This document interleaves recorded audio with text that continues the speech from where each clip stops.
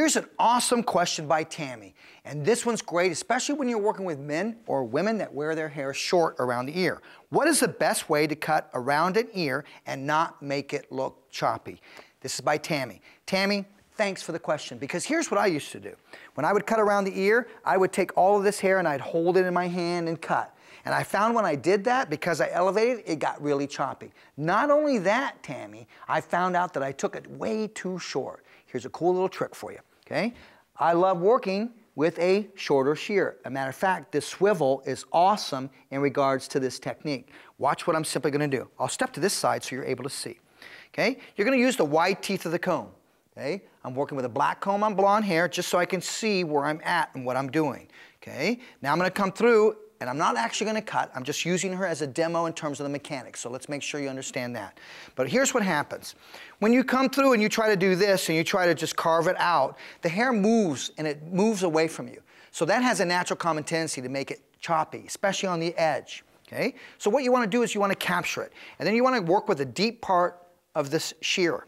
Watch what we're gonna do. All I do is just take it, I fold the ear. So can you see how I'm folding the ear? Once I fold the ear, the hair is captured inside. The shear goes in, and now I'm gonna do, all I do is place the shear in, and I tap, tap, tap, tap, tap, tap, tap, and rotate the shear.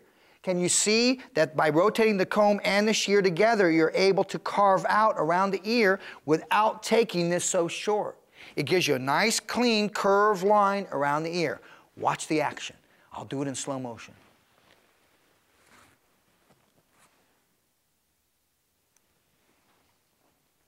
See how the wide teeth catch that? Then you're going to come in with your shear. Remember, I'm not going to cut. I'm just demonstrating the mechanics. And then I would tap, tap, tap, and work. So I tap, tap, tap, tap, and rotate the shear right around the ear area.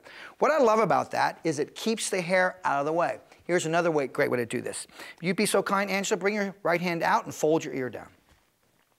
Okay, good. So you have the client get involved. Now can you see they folded the ear. Now you can come in still using the comb and then you come in with the shear and you're just going through. This way, if you cut the ear, it's the client's fault. Just kidding.